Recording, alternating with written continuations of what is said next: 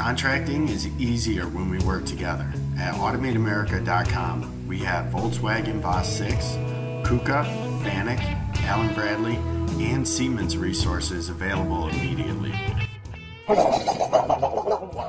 You need controls engineers, and I have them, but your rates are just too low. We just need to raise the rates a little bit, and I'll have boots on the ground by tomorrow.